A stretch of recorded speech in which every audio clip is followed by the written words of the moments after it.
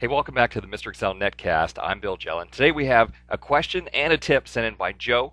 If you have a question for the podcast, please feel free to get it to us either uh, as a voicemail or drop me an email, bill at mrexcel.com.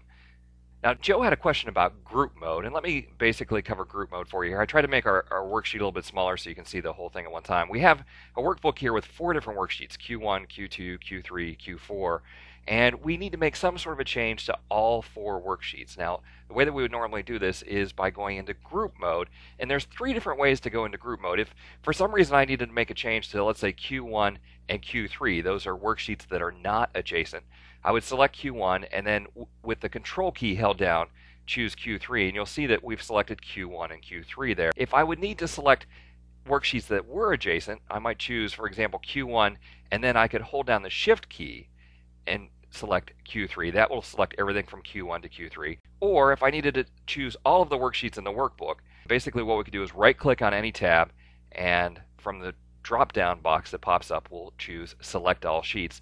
That'll put the entire workbook in group mode. Now, here's how group mode works. In addition to the title bar saying that we're in group mode, basically anything that I would do to the visible worksheet. So I'm seeing Q1. If we've now done a reorg and we now have the East region broken into northeast and southeast. If I insert a new row here and type southeast and then rename the old east region to northeast, what's actually happened is Excel has made that change to all of the sheets that were in the group. So in that case, I had selected all sheets.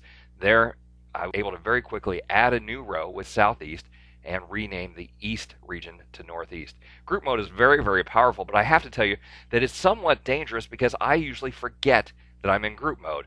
What will happen is I I go into group mode, make that change, get a phone call, and 15 minutes later I come back with a whole big list of to-dos, and I've forgotten that I'm in group mode, and I start working on Q1, typing numbers, and don't realize that I'm going through and overwriting numbers in Q2, Q3, and Q4. But now here's Joe's question. Let's say that we needed to make some sort of a change to all the charts. For example, we wanted to format the color of the first data point.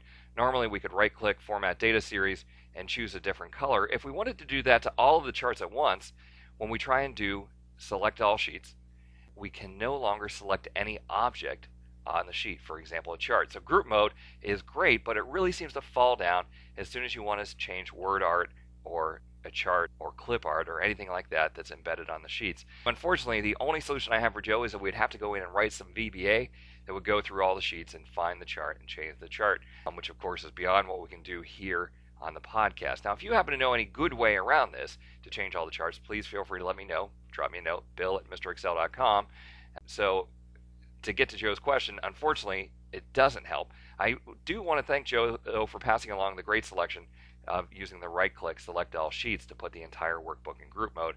That's one that I hadn't seen before. I'm going to send Joe one of my Excel master pins, which of course is little consolation for the fact that we weren't able to solve his problem in the first place. But group mode, great option if you've never tried it. Um, just make sure to always remember to get out of group mode before you start working on the visible worksheet. Thanks for stopping by. We'll see you next time for another netcast from Mr. Excel.